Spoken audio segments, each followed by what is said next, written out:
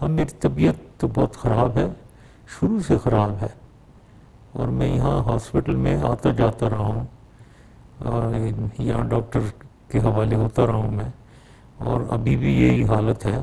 آج صبح مجھے ڈیزینس ہوئی اور میں بلیک آؤٹ ہو گیا۔ مجھے پھر اٹھا کر یہاں لے آئے ہیں، مجھے نہیں معلوم کہ کیسے میں اس کے بعد کیا ہوا ہے۔ یہ کیس میری نظر میں بالکل بے بنیاد ہے۔ کیونکہ میں تو غداری چھوڑے، میں نے تو اس ملک کے لیے بہت خدمات سر انجام دیے ہیں۔ جنگیں لڑا ہوا ہوں میں اور ملک کی خدمت میں نے دس سال کی ہے۔ تو اس لیے میں سمجھتا ہوں بے بنیاد ہے۔ اب یہاں اس کیس میں مجھے سنائی نہیں دے رہے سنوائی میری نہیں ہو رہی ہے۔ صرف یہ نہیں ہے کہ مجھے صرف میری سنوائی نہیں ہو رہی ہے۔ میرا جو لائر ہے سلمان سفتر اس تک کو سن نہیں رہے ہیں۔